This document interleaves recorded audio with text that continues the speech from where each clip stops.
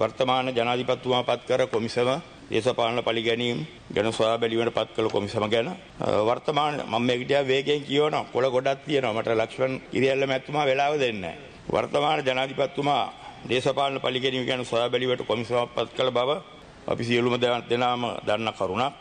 අද අපි විවාදයට ගන්නවා එම කොමිසමේ වාර්තාව. ඒ වාර්තාව ගැනයි අපේ විවාදයේ තියෙන්නේ. මේ කොමිසම පත් කොට ඇත්තේ ඒකේ පත් කිරීමේ තියෙන්නේ රජයේ සේවකයන්ටත් සංස්ථා හා මණ්ඩල සේවකයන්ටත් ත්‍රිවිධ හමුදාවේ හා පොලිසියේ සාමාජිකයින්ටත් දෙදස් පහළොවේ ජනවාරි 8 වෙනි පසුව සිදු වූ දේශපාලන පලී ගැනීම ගැන සොයා බලා වාර්තා කිරීමට. නමුත් මෙම කොමිසමේ සභාපති විශ්‍රාමික ශ්‍රේෂ්ඨාධිකරණ මිනිසුරු උපාලි අබේරත්න මෙතුමා රට අඳුරන්නේ රටේ සමාජය දන්නේ නැහැ උපාලි අබේරත්න කිව්වොත් රට සහ අධිකරණ ක්ෂේත්‍රයේ මෙතුමා අඳුරන්නේ පිස්සු පූසයි කිව්වොත්. එතකොට මේ කොමිසමටත් දැන් කට්ටිය හුඟක් අය කියන්නේ පිස්සු පූසා කොමිසම කියලා. එයා වාර්තා කරලා තියෙන්නේ මේ වාර්තාවේ අධිකරණයේ විභාගවල නඩු ගැනත් ඊට පස්සේ අධිකරණයේ තීන්දුව දීලා තියෙ දීලා තියෙන නඩු තීන්දුව ගැනත්. ඒ වගේ අගතියටපත් විභාගවල නඩු වල කට්ටිය නිදහස් කරන්න නිදොස් කරන්න තීන්දුව වල ලක් වෙලා තියෙන අයත් නිදහස් කරන්න නිදොස් කරන්න කියන කතාව තමයි එතුමා මේ වාර්තාව හරහා හුඟක් දිගට දිගටම කියලා තියෙන්නේ. ඊළාට මේ පිස්සු පූසා. එයාගේ අතීතයේ දූෂිත බවට ප්‍රකාශ වෙලා අධිකරණයේ විනය ක්‍රියාමාර්ග අරගෙන තියෙනවා. තවත් මේ කමිටුවේ සමාජිකයෙක් ඉන්නවා. එයා මාත් අතීතයේ දන්නවා. එයා අපි දැක්කා 2010න් පස්සේ යුද්ධ ඉවරණයෙන් පස්සේ එයා බැසිල් රාජපක්ෂ මැතිතුමාගේ පීඑන් හැටියට වැඩ කරේ. අර නැගෙනහිර වසන්තයේ උතුරු වසන්තයේ කාලේ මම දැක්කා හැම වෙලේම හෙලිකොප්ටර් එක නැගලා බැසිල් රාජපක්ෂ මැතිතුමාගේ පස්සෙන් මෙච්චර විතර ෆයිල් ගොඩක් උස්සගෙන යනවා. හිටපු විශ්‍රාමික පොලිස්පති කෙනෙක්. නමුත් එතුමා ක්‍රියාකලාපය ඒ දෙයක් දහයෙන් පස්සේ ඒ වගේ තමයි එතුමා ක්‍රියා කරේ. තවත් ඉන්නවා ඉස්ලාමික විනිසුරුවරයෙක්. මේ කොමිසම පත් කළ වහාම අපි දැක්කා මේ කොමිසමේ සභාපති නීතිපතිට නියෝගයක් දෙනවා. ඒ නියෝගයේම හාස්‍ය ජනක වුණා. ළමයි 11 දෙනෙක් කප්පන් ගැනීමට පැහැරගෙන ගිහිල්ලා ඝාතනය කිරීම ගැන හිටපු නායක හමුදාපති කරන්නාගොඩට හා නායක හමුදාවේ තවත් කීප දෙනෙකුට විරුද්ධව පවර ඇති නඩුව ඉල්ලාස් කරගන්න කියලා මේ සභාපති නීතිපතිට නියෝගයක් දුන්නා. නීතිපති ඒක ප්‍රතික්ෂේප කරා. මේ නඩුව ගැන මම තව දීර්ඝ වශයෙන් ඉස්සරහට පොඩ්ඩක් කතා කරන්න බලාපොරොත්තු වෙනවා. ඊළඟට මේ කිසුපූස කොමිසමේ නිර්දේශ අනුව විශාල සංඛ්‍යාවක් අධිකරණ ක්‍රියාමාර්ග අත්විඳීමටත් නඩු තීන්දුව හා දඬුවම් අත්විඳීමට නිර්දේශ කොට තිබෙනවා. මේවා අපි දකින්නේ කැකිල්ලේ නිර්දේශ හැටියට. මේවා සාමාන්‍ය අපිට පිළිගන්න පුළුවන් යථාර්ථවාදී කියලා අපි දකින්නේ මේ මගින් නීති අතර ගැනීමක් සහ අධිකරණයේ හැල්ලුවක් ලක් කිරීමක් සිදු තිබෙනවා කියලා අපි විශ්වාස කරනවා. ජනාධිපතිතුමා 2021 ජනවාරි 15 15 වෙනි දින ඉදිරිපත් කළ අමාත්‍ය මණ්ඩල සංදේශයක් මගින් අවසන් වර්ෂ 2019 අංක 3 දරන පනතින් සංශෝධිත 1948 අංක 17 දරන පරීක්ෂණ කොමිසම සභා පනතේ දෙවන වගන්ති යටතේ නිකුත් කළ අධිකාරි පත්‍රයක් මගින් පත් කළ කොමිසමේ ඒ කියන්නේ මේ කොමිසම පිස්සුකුස කොමිසම වාර්තාවේ යෝජනාවලට පාර්ලිමේන්තුවේ අනුමැතිය ලබා ගැනීමට අවසරය අනුමත කරවාගෙන තියෙනවා. එතකොට මෙතනදී මේ අමාත්‍ය මණ්ඩල සංදේශය මගේ ගෙදරටත් ලැබෙන සලස්සලා තිබුණා කවුරු හරි තමුන්නාසලාම කැබිනට් ඇමති කෙනෙක්. මේකේ ටිකක් නිකන් අඤ්ඤම් අඤ්ඤම් ගතියක් තියෙනවා. මේකේ කියලා තියෙනවා අනුමැතිය ඉල්ලලා තියෙන්නේ ඊය සඳහන් කරුණු හේතු කොටගෙන පාස් සඳහන් යෝජනා ක්‍රියාත්මක කිරීම සඳහා අමාත්‍ය මණ්ඩලයේ අනුමැතිය අපේක්ෂා කරමි. එක ඊය සඳහන් ජනාධිපති පරීක්ෂණ කොමිසම් සභා විසින් සකස් කර ඇති සකස් කර ඉදිරිපත් කර ඇති අවසන් වාර්තාවේ 1 2 3 වෙලුම් සහ සහ ලිපි දෝෂ සහිත මුද්‍රණ දෝෂ නිවැරදි කිරීමේ පරිශිෂ්ටය යෝජනා සම්මතයන් මගින් පාර්ලිමේන්තුව වෙත ඉදිරිපත් කිරීම. ඒකේ දෙකේ දෙවෙනි කොටස තියෙනවා. එහි අංකාට අයිත මේ අංක 1 තීරණය සහ අංක අංක 1 නිර්දේශ ක්‍රියාත්මක කිරීම සඳහා පාර්ලිමේන්තුව විසින් විශේෂ ජනාධිපති කොමිසමක් කොමිසන් සභාවක් පත් කර. ඒතර තමුන්නාන්සලාට තමයි මේක පත් කරන්න කියන්නේ. එමගින් හෝ පාර්ලිමේන්තුව විසින් නියම කරන වෙනස් සූසු යාන්ත්‍රණය මගින් සිදු කළ හැක කියලා. ඒකට මේකේ තියෙන පැටලිල්ල තමයි මේ පාර්ලිමේන්තුවට කියන විශේෂිත ජනාධිපති කොමිසමක් පත් කරන්න කියලා. නමුත් අපි දකිනවා ඒක නෙමෙයි හරි ක්‍රියාමාර්ගයේ එතන අමාත්‍ය මණ්ඩල සංදේශයේම විශාල වරදක් තියෙනවා. ඒකේ හරි පියවරක් ගන්න බෑ ඒක අනුව. ඊළඟට මේ කොමිසමේ නිර්දේශ අනුව විශාල සංඛ්‍යාවක් අධිකරණ ක්‍රියාමාර්ග අත්තිරීමටත් සමාවෙන්න ඊළඟට මේ වන විට ජනාධිපතිතුමා විශේෂ ජනාධිපති කොමිසම පත්කොට ඉහත කොමිසමේ වාර්තාව ගැන නිර්දේශ ඉල්ලලා තියෙනවා. අප්‍රේල් 29ට ඉස්සෙල්ලා ඒවා දෙන්න කියලා තියෙනවා. මේ වෙන විට අපි මෙම ක්‍රියාමාර්ගයට විරුද්ධව අභියාචන අධිකරණයට පැමිණිලි කරලා තියෙනවා. එහිදී ජනාධිපති වෙනුවෙන් පෙනී ඉදිරිපත් වූ නීතිඥයා පැවසුවා අභියාචන අධිකරණයේදී මේ පිසුපූසා වාර්තාව අල්ලස් කොමිසමට හෝ නීතිපතිට ඉදිරි පියවර සඳහා නොයවන බව. නමුත් අපේ ප්‍රශ්නය තියෙන එතන නෙවෙයි එතනින් එහාට ගිහිල්ලා විශේෂිත ජනාධිපති කොමිසමේ වාර්තාව අනුව ඉදිරියට ගන්න පියවර මොනවද කියන එකයි අපට තියෙන ප්‍රශ්නේ.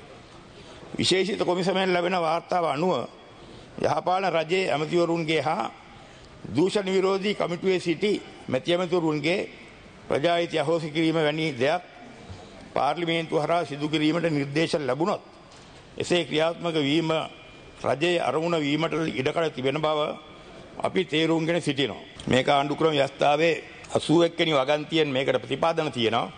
නමුත් අපිත් එක්ක හම්බෙනකොට තමුන්නාන්සලාගේ මැති ඇමතුරු හුඟ දෙනෙක් හැම වෙලේම අපිට කියලා තියෙනවා මේ ප්‍රජායිතින් නැති කිරීම වගේ වැඩ වගේ ඒගොල්ලෝ පාවිච්චි කර වචනේ තමයි එක්කෙනෙක් මේ වගේ පක්කලි වැඩවලට අපි නම් උදව් කරන්නේ නැහැ කියලා.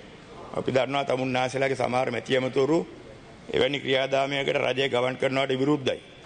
නමුත් විශේෂී ජනාධිපති කොමිසමේ දැනට සේවයේ නියුතු විනිසුරුවරුන්ද සිටින නිසා ඔවුන් අධිකරණය ගෞරවය රැකගෙන තීන්දු තීරණ ගනු ඇති බව අපගේ විශ්වාසයයි. විපක්ෂයේ මන්ත්‍රීවරුන්ගේ ප්‍රජායතින් නැති කිරීම අපි දකින්නේ නිවට බියගුළු වැඩක් හැටියට. අපි දැක්ක අතීතයේ සිරිමා බණ්ඩාරනායක මැතිනියගේ ප්‍රජායතින් නැති කරා. ඒකත් ශ්‍රේෂ්ඨ වැඩක් හැටියට මම කවදාවත් දැක්කේ නැහැ. එතෙන්දි ප්‍රජාතන්ත්‍රවාදයට වැදුන පහරත් අපි දැක්කා. අපි දන්නා ඒ වෙලාවෙත් ගාමිණී දිසානායක වගේ මැති ඇමතුවරු ඒකට විරුද්ධ වෙලා තියෙනවා. නමුත් බහුතරයක් අනුව බහුතරයකින් ඒවා අනුමත කරගෙන තියෙනවා. අපි දකින්නේ මේවා ඉතා බංකොලොත් දේශපාලන වැඩ, බියගුළු දේශපාලන වැඩ රජයක් හැටියට මේ වගේ දේවල්ට අත ගන්න එක අපි දකින්නේ ඒවා ගෞරවනීය වැඩ හැටියට. ඊළඟට මේ කොමිසමෙන් නිස්සංක සේනාධිපතිගේ පැමිණිල්ලකට අනුව මේ පිස්සු පූසා කොමිසම කියන වචනේ හරියට ගැලපෙනවා. නිස්සංක සේනාධිපතිගේ පැමිණිල්ලකට අනුව නීතිපති දෙපාර්තමේන්තුවේ ජ්‍යෙෂ්ඨ රජයේ නීතිඥ ජනක බණ්ඩාර එයාට විරුද්ධව සිතාසි නිකුත් කරා. මේ ජනක බණ්ඩාර විරුද්ධව සිතාසියක් නිකුත් කරා. නිස්සංක සේනාධිපති කියන්නේ අර කියපු ගණයට වැටෙන කෙනෙක් නෙමෙයි. රජයේ නිලධාරියෙක් නෙමෙයි, සංස්ථා නිලධාරියෙක් නෙමෙයි. හමුදා සේවය කරලා එහෙම නැත්නම් පොලිසිය සේවය කළා ඒ ගණයට වැටෙන්නේ නැහැ. නමුත් ඔහුගේ පැමිණිල්ලකට අනුව ජනක බණ්ඩාරට විරුද්ධව සිතාසි නිකුත් කරා. ඒක වෙලාවේ අපි දැක්කා නීතිපතිතුමා 2020 ජූනි 22 දරන ලිපිය මගින් පැහැදිලිවම මේ පිස්සුබුස කොමිසමට දන්වා තියෙනවා ඔවුන්ට බලය තිබෙන්නේ අර ඉස්සෙල්ලා කියපු විදියට රජයේ සංස්ථා මණ්ඩලවල ක්‍රියා ත්‍රිවිධ හමුදාව සහ පොලිසියට වී ඇති අසාධාරණ ගැන හොයා බලන්න පමණයි. මෙවැනි ක්‍රියාමාර්ග හරහා අපි දැක්කේ නැවතත් මේ කොමිසම හදනවා තමුන්නාසලත් තල්ලු කරන්න දේශපාලන පරිගැනීම් ක්‍රියාදාමයකට. මේ ඇවිල්ලා තියෙන දේශපාලන පරිගැනීම් ගැන සොයන්න. නමුත් මෙයා හදනවා රජයේ ලව්වලා කොස්සට බාවන්න දේශපාලන පරිගැනීම් ක්‍රියාමාර්ගයකට රජය තල්ලු කරන්න. ඊළඟට මේ කොමිසමේ අපි දැක්කා දීලා තියෙන නිර්දේශ අනුව මේගොල්ලෝ නිර්දේශ කරනවා යම්කිසි අවස්ථාවක පවතින නඩු වලින් චූදිතයන් නිදහස් කරලා නිදොස් කරන්න. ඊට පස්සේ තවත් අවස්ථාවක නිර්දේශ කරනවා දඬුවම් නියම වෙලා දඬුවම් විදින අය නිදොස් කරා නිදහස් කරලා නිදොස් කරා. මම එයින් කීපයක් උදාහරණ හැටියට ගන්නවා. ඉතා කෙටියෙන් මේවා කතා කරන්න වෙනවා. අර අතනිටෝ මන්ත්‍රීතුමාගේ කතා කරොත් මට මේ එකක් අල්ලන් දවසම දුවන්න වෙනවා. මම පළමුවෙන්ම කතා කරන්න ඕනේ නඩුවක් තියෙනවා තමුන්නාසලා දන්නවා හිටපු නායක හමුදාපති වසන්ත කරන්නාගොඩ. සහ ඔහුත් සමග සමීප වැඩ කරපු rear admiral DKP Dassanayake commander Sumith Ranasinghe මේ කට්ටිය බුද්ධි කටයුතු මෙහෙව්වා. ලගින් මෙදගේ නාවික හමුදාපතිගේ මේ ගැන කතා කළ තමයි අර හිටපු දක්ෂව නාවික හමුදාපති කෙනෙකුට. සින්න අයියා මාස දෙකෙන් ගෙදර ඇරියා හිටපු ජනාධිපති.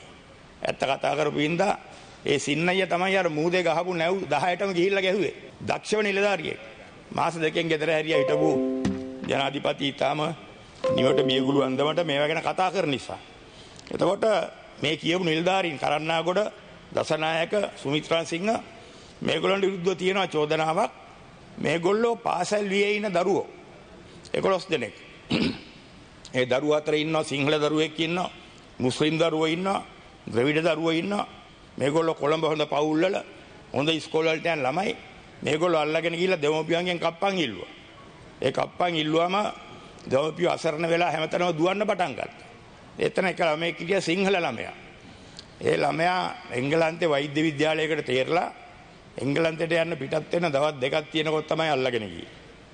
පෙරේරා කියලා පුද්ගලයෙක්ගේ පුතෙක්. ඒ වගේ ඊටාම නින්දිත වැඩ අල්ලගෙන ගිහිල්ලා මේගොල්ලෝ නාවික හමුදාව මේ වැඩේ කරා කියලා තොරතුරු එළි වෙනකොට මේ ළමයි 11 දෙනා මරලා සමහරුන්ගෙන් එතකොටත් කප්පන් අරගෙන තිබුණා. මරලා ගෙනහිල්ලා මූදේ දැම්ම ගෙනහිල්ලා ගල් ගැට ගහලා මූදේ දියඹට ගෙනහිල්ලා මූදට දැම්මා. එතකොට මේ වගේ වැඩ තමුන්නාසලාට සිද්ධ වුණා නම් තමුන්නාසලාගේ පවුලකට හිතලා බලන්න. තමුන්නාසලාගේ දරුවෙකුට එහෙම දෙයක් වුණා මේ පවුලට ඊට පස්සේ අත්තන ඉරණ මොකද්ද? ඒ පවුලේ දෙමව්පියන්ට අත්තන ඉරණ මොකද්ද? දැන් මේ දරුවා ගැන වෛද්‍ය විද්‍යාලයට යන්න හිටපු. දෙමව්පියෝ කොච්චර බලාපොරොත්තු තියාගෙන ඉන්නේ නැද්ද? ත්‍රස්තවාදී වැඩ කළත් නැහැ. එතකොට මේ වගේ වැඩ කරලා උසාවියේ නඩුවක් තියෙනකොට ඒ නඩුවේ නිදොස් නිදහස් කරන්න කියලා මේ පිස්සු පූසා කොමිසමෙන් නිර්දේශ කරනවා. මේවා සාධාරණද? මේවා සාධාරණ නැහැ. මේවා හෙන ගහන අපරාධ. අපි අපි අනුමත කරන්නේ නැහැ. හමුදාවක හිටියා කියලා නිල ඇඳුම් ඇඳා කියලා යුද්ධයක් තිබුණා කියලා මේ වගේ ත්‍රිසං වැඩ කරන අයට සමාව දෙන්න ඕන කියලා මම කවදාවත් අනුමත කරන්නේ අපි මේ වගේ වැඩ කරා නම් නිල ඇඳුම පාවිච්චි කරලා අවියාවුද පාවිච්චි කරලා මේ වගේ ත්‍රිසං වැඩ කරා නම් ඔවුන්ට විරුද්ධව නීතිය ක්‍රියාත්මක වෙන්න ඕන. ඔවුන් නිදහස් කරන එක නිදොස් කරන එක තමුන්නාසලා කරොත් ඒ වගේ අදින වලට කර්මයට තමුන්නාසලට දායක වෙන්න සිද්ධ වෙනවා. ඊළඟට තවත් නඩුවක් තියෙනවා නිදහස් නිදොස් කරන්න කියලා. මේක ටිකක් දීර්ඝව තියෙනවා. වේගෙන් කියවන්න ඕනේ. මේකද ඇති චෝදනාවලින් නිදස් නිදොස් නිදහස් කරන්න කියලා තියෙන ඇවන්ගාඩ් අධිපති. එයා රජයේ සේවකයෙක්වත් කවුරුවත් නෙමෙයි. එයා කැප්ටන් කෙනෙක් කාලේ හමුදායෙන් ගියපු කෙනෙක්. යුද්ධයට බය ගියපු කෙනෙක්. යුද්ධයට බය ගිහිල්ලා ඊට පස්සේ ඒ කාලේ යුද්ධයට බය පැනලා යන සොල්දාදුවෝ පිරිසක් හිටියා. මේ යුද්ධය අතරමංගලා ඉන්න කාලේ. මෙයා ඒ වගේ කට්ටියකට ගොඩක් අල්ලගෙන ඒගොල්ලන්ට කවුරුවත් රස්සාවක් දෙන්නේ නැහැ. ඒගොල්ලෝ අල්ලගෙන රුපියල් 8000 පඩියට සිකියුරිටි ෆර්ම් එකක් දැම්මා. ඒ රුපියල් 8000 ගෙවන්න එක්කෙනෙකුට. ඒ වයින් තමයි මෙයා කෝටිපතියෙක් වුණේ. ඔය නිශ්ශංක සේනාධිපති කියලා දැන් කයිවාරු ගහන එක්කෙනා. මම මෙතන මතක් කරන්න ඕනේ. මේ දවස්වල තමුන්නාන්සලාගේ නායකතුමා එක්ක හැප්පෙන නීතිඥයෙක් ඉන්නවා තමුන්නාන්සලා පැත්තේ මේ වෙලාවේ. එයා තමයි අපේ පැත්තෙත් ඉඳගෙනත් නිශ්ශංක සේනාධිපති බේරන්න වැඩ කරේ. නිශ්ශංක සේනාධිපතිගේ ගෝලයා. දැන් තමුන්නාන්සලාගේ නායකතුමා එක්ක හැප්පෙනවා මේ දවස්වල. එතකොට ඒ වගේ නඩුවකට නිශ්ශංක සේනාධිපති නිදොස් නිදහස් කරන්න කියලත් මේ කොමිසමෙන් කියලා තියෙනවා. සේනාධිපතිත් තියෙන නඩුව තමයි දෙදස් දහය වසරට පෙර මුහුදු කොල්ලකරුවන්ගේ ආරක්ෂාවීමට නැව්වලට අවශ්‍ය අවිලබාදී මහා භාර ගැනීම අපේ නාවික හමුදාව සිදු කරා. දෙදත් දහයෙන් පසුව ආරක්ෂක අමාත්‍යංශය මේ සඳහා නිශ්ශංක සේනාධිපතිට අවසරදී රජයට ලැබුණ විශාල මුදලක් රටට අහිමි කරා. මේ ක්‍රියාදාමය හරහා නාවික හමුදාව කරනකොට වසර මාසයකට රජයට ලැබුණ ඩොලර් මිලියන එක හමාරක්. ඒ කියන්නේ අවුරුද්දක ඩොලර් මිලියන් 18ක්. රුපියල් වලින් බැලුවොත් බිලියන 3.6ක් කෝටි 360ක්. මේක රජයට අහිමි වුණා නායක හමුදාවට අහිමි වුණා මේ ව්‍යාපෘතිය දුන්න සේනාධිපතිට 2010න් පස්සේ ආරක්ෂක අමාත්‍යාංශය. මෙම අවසරය ලබාගත් නිසංග සේනාධිපති මෙම ක්‍රියාවලිය නීති විරෝධී ලෙස නීති විරෝධී අවිපාවිච්චි කරමින් කරගෙන ගියා. ඔහු රතු මුහුදේ නවතා තිබූ MV ඇවන්ගාඩ් නැව මගින් හා ගාලුවරායෙන් ඔබ්බේ ඒ කියන්නේ අපේ මුදුසියමයන් එළියේ නවතා තිබුණ MV මහනුවර යන නැව්වල ලංකාවේ කොඩිය ගහගෙන නීති විරෝධී ලෙස අවි තබාගෙන නැව්වලට ආරක්ෂා සඳහා අවි නිකුත් කිරීම කරගෙන ගියා. රතු මුහුදේ නැවේ T56 400ක් තිබුණා. මේ නැව් අපේ මුහුදෙන් එළිය තිබ්බත් නාවික හමුදාට බලය තියෙනවා. ලංකාවේ කොඩිය ගහගින්න ඉඳ ඕනෙලා ගිහලා චෙක් කරන්න තඩංගුවට ගන්න. නාවික හමුදාව රතු මුහුදේ තිබුණ නැව අත්අඩංගුවට ගත්තම ඒකේ T56 400ක් තිබ්බා. ගාලුවරයට ඔබ්බෙන්න අතා තිබූ නැව රඳවාගෙන ව්‍යාපාර කරගෙන ගියා. ඒකෙත් ඒ වගේම අනවසර T56 300ක් පමණ තිබුණා. ඒ ඔක්කොගම නායික හමුදා මේ නැව් ඇල්ලුවේට ඔහු කිව්වේ ඒවා ජාත්‍යන්තර මුහදේ නවතා තිබූ නිසා නායක හමුදාට ඒව ඇල්ලීමට බලයක් නොතිබූ බවයි. නමුත් මොහු මෙම නැව්වල ලංකාවේ කොඩිය ඔසවා තිබූ නිසා නායක හමුදාට කෙස කොහේ නවතා තිබුණත් ඒව ඇල්ලීමට බලය තිබුණා. මෙම නැව්වල තිබුණේ නීති විරෝධී අවි. ඒ වගේ නොම්බර පවා මකා තිබුණා. සේනාධිපති කීවේ අවි එකිනෙකට ගැටි ද මේ අවස්ථාවලදී සේනාධිපති බේරා ගන්න අපේ හිටපු ඒ වෙලාව හිටපු අධිකරණ ඇමති. එයා තමයි දැන් තමුන්නාන්සේලා නායකයා එක්ක ගැටෙන්නේ. එයා මැදිහත් වුණා. ඒක මම බය නැතුව කියනවා. ඒවා එකනියකට ගැටිලා නොම්මර මැකී ඇති බවයි සේනාධිපති කිව්වේ. නමුත් මේ අවි එකට ගැටුණා කියලා නොම්මර මැකෙන්නේ නැහැ. T56 එළියේ තියෙන නොම්මර ගහලා දෙපළක. ඇතුල් වුණොත් මැකුණා කියලා හිතමු. නමුත් T56 ඇතුලේ තියෙනවා working parts කියලා කෑල්ල. ඒකට මීයා කියලා අපේ සබළු කියන්නේ. ඒ කෑල්ල උඩට පල්ලෙහාට යනවා වෙඩි තියෙනකොට. ඒ කෑල්ලෙත් නොම්මරයක් ගහලා තියෙන ඇතුලේ. ඒකට අවි ගොඩක් දාලා එකට ඇතුල් වුණාට මේ ඇතුලේ තියෙන නොම්මර කවදාවත් මැකෙන්න බෑ. මේ වගේ බොරු තර්ක ගෙනෙල්ලා මෙයාගේ මේ නඩු බොහොම අබලං කරගෙන දුර්වල කරගත්තා ඒගොල්ලෝ. මේ වගේ ක්‍රියාදාමයක් කරගෙන ගියපු නිස්සංක සේනාධිපතිටත් දැන් පිස්සුපූස කොමිසමේ නිර්දේශ කළා තියෙනවා ඔහු නිදොස් කරලා නිදහස් කරන්න කියලා. එතකොට රටට පාඩුයි හොර ජාවාරමක් එක පුද්ගලයෙක් කෝටිපතියෙක් කළා මේ රජයේ ඉන්නකොට අපි ඉන්නකොට අපේ කට්ටියත් මෙහෙව්වා තමුන්නාසලා දන්නවා යා දැන් තමුන්නාසලා රජයත් එක්ක කොහෙද ඉන්නේ කියලා. ඊළඟට මම කතා කරන්න ඕනේ මරණීය දණ්ඩනයේ නියම වූ කෙනෙක් නිදහස් කිරීමට පිස්සුපූසා කොමිසම දීලා තියෙන නිර්දේශයක්. මේ පිස්සුපූසා කොමිසමෙන් නිදහස් කරන ලෙස යෝජනා කරන මරණීය දණ්ඩනයේ නියම වූවෙක් වන්නේ දැනට වන්දනාගාරයේ වසන දුමින්ද සිල්වා හිටපු පාර්ලිමේන්තු මන්ත්‍රීතුමා. දුමින්ද සිල්වා ලැබි පුද්ගලයා සමග මට පුද්ගලිකවම කිසිදු පුද්ගලිකව දේශපාලන ප්‍රශ්නයක් නැහැ. එතුමා පුද්ගලිකව ඉතා සුන්දර මිනිහෙක් මම දැකලා කතා කරලා තියෙනවා.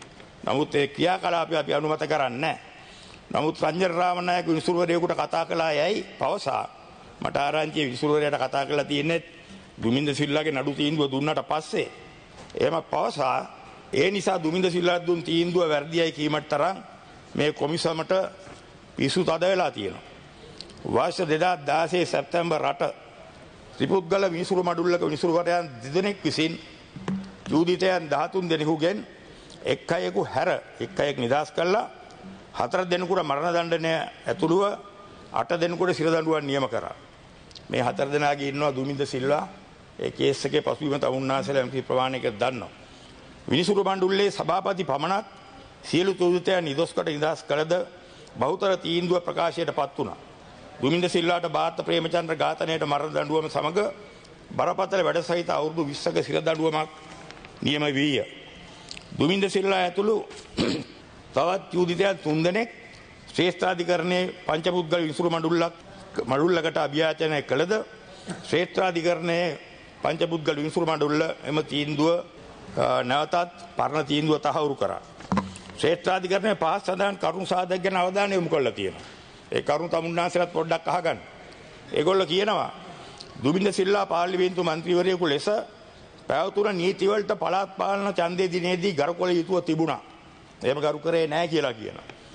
දුමින්ද සිල්වා පාන්දර එදා පාන්දර ඉඳලම ඡන්දදායකයන් බිය ගන්නවමින් ඡන්ද පොළවල් ළඟ සරිසරමින් සරිසරමින් සිට ඇති අතර රාජකාරිය ඉදී සිටි සහකාර පොලිස් අධිකාරී කෙනෙක් පවා ඔහුට ප්‍රදේශයෙන් ඉවත් වෙන ලෙස ආවාද කරලා තියෙනවා. මීළඟට දුමින්ද සිල්වා ඇතුළු පිරිස දිවා ආහාරය වේලාවේදී මත්පැන් පානය කළා තියෙනවා. දවල් දෙකයි හතලිස් පාට තවත් චන්ද බ්ලොකට ගිහිල්ලා මත්පැන් පාලනය කිරීමෙන් පසුව වාහන 15කින් පමණ ඡන්දදායකින් බියවැද්දීම නැවතත් ආරම්භ කළා කියනවා. මේ කාලයේදී ඔවුන් නීති විරෝධී T56 අවියක් සම්පූර්ණ පතරම් සහිතව T56ක සම්පූර්ණ පතරම් කියන්නේ පතරම් 30ක් ඒක ඇතුළට දාන්න පුළුවන් එකපාරකට. සහිතව එක් වාහනයකින් තවත් වාහනයකට මාරු කරලා ඇරලා තියෙනවා. මාරු කරලා තියෙනවා. මේ අවිය LTT විසින් අලිමංකඩ හමුදා කඳවුරට පහර දීලා හමුදාවෙන් අල්ලගත්ත LTT අල්ලගත්ත අවියක්. ඒ නොම්බර වලින් ඔප්පු වෙලා තියෙනවා. මේ අවිය තමයි දුමින්ද සිල්වල ගාව තිබිලා තියෙන්නේ. මේ අවියෙන් තමයි පස්සේ මම අන්තිමට එන කෑල්ල මේ කියන්නේ බාතලක්ෂණ ප්‍රේමචන්ද්‍ර වෙඩි තැබූ ස්ථානයේ තිබිලා වතුරංකපු 27ක් හම්බෙලා තියෙනවා T56 ඒ 27න් වෙඩි තියලා තිබිලා තියෙන්නේ මේ අවියේ. ටික වෙලාවකට පසුව ඒ කියන්නේ ඉස්සෙල්ලා ඒ කෑම බීමෙන් පස්සේ දුමින්ද සිල්ලා පිරිස චන්දපොලකට ගිහලා කල්දර කරදර කළා ඊළඟට සෝලංග ආරච්චි ඔහුගේ බිරිඳ සහ ප්‍රාදේශ සභා සභාපති හිටපු සහ ඒ සෝලංගාරච්චිගේ පිරිසකට පහර දීලා තියෙනවා. ඊළඟට රාහුල විද්‍යාලයේ ඡන්දපොළට පැමිණ අවි පෙන්වා ඡන්දදායකින් බියවද්දලා තියෙනවා. මෙහිදී රාහුල විද්‍යාලයේ ඡන්දපොළේදී STF එකේ ඔෆිසර් කෙනෙක්ගේ පපුවට අවියක් තියලා දුමින්ද සිල්ලත් එක්කට මැරේක් තර්ජනය කරලා තියෙනවා වෙඩි තියනවා කියලා. ඊළඟට එතනින් පිටත් වෙලා හවස 4:45 තමයි අවසන් ගැටුම ඇති වෙලා තියෙන්නේ. බාතලක්ෂණ ප්‍රේමචන්ද්‍ර සමග ශ්‍රේෂ්ඨාධිකරණය පවසන්නේ දුමින්ද සිල්ලාට එදා දිනේ තුලදී නීති විරෝධීව ජනතාව බියවත්වමින් වාහන පාලුවකින් පමණ අවිදරමින් සැරිසරීමට නීතිමය හේතුවක් නොවූ බවයි. ශ්‍රේෂ්ඨාධිකරණය පවසනවා බාතලක්ෂවන් ඝාතනයට අදාළ සිද්ධියේ ප්‍රධාන කේන්ද්‍රස්ථානය පවට පත්වී ඇත්තේ දුමින්ද සිල්වාය. බාතලක්ෂවන් ප්‍රේමචන්ද්‍රන්ට වෙඩි තබ ඇත්තේ විශාල කලබලයක් දුමින්ද සිල්ලා විසින් ඇති කළ රාහුල විද්‍යාලයට මීටර් පන්සීයක් දුරින් පවනක් බව ශ්‍රේෂ්ඨාධිකරණය පවසනවා. පිස්තෝල දහයක් හා ටී පනස්සය තුනක් සහිත MSD නිලධාරීන් ආරක්ෂාවට සිටියදීත් දුමින්ද සිල්ලා නීති විරෝධී ටී පනස්ස අවියක් රැගෙන ගියේ නීති විරෝධී වැඩවලට බව ශ්‍රේෂ්ඨාධිකාරණය මතයයි. දුමින්ද සිල්ලා වෙඩි තබන අවස්ථාවේදී අනිවාර්යයෙන්ම නීති විරෝධී රැස්වීමක සමාජිකයෙක් වී සිට ඇති බව ශ්‍රේෂ්ඨාධිකරණය පවසනවා. දුමින්ද සිල්ලා මෙම සිද්ධියේදී තුවාල ලැබුවත් එම සිද්ධිය ප්‍රථමයෙන්ම ආරම්භ කළ පුද්ගලයා ඔහු බව ශ්‍රේෂ්ඨාධිකරණය තීරණය කරනවා. එතකොට මේ වගේ තත්ත්වයක් යටතේ තමයි මේගොල්ලෝ මේ පිස්සු පුසා කොමිසම දුමින්ද සිල්ලා නිදස් කළා නිදොස් කරන්න කියලා රංජන් රාමනායක දුන ටෙලිෆෝන් කෝල් එකක් අල්ලගෙන එයාගේ තීරණයක් දීලා තියෙන්නේ එයා කොමිසමේ. දැන් ඊළඟට මගේ වෙලා ගන්න නැතුව කරන්න. හරි ඉක්මන් කරන්න ඉතින්.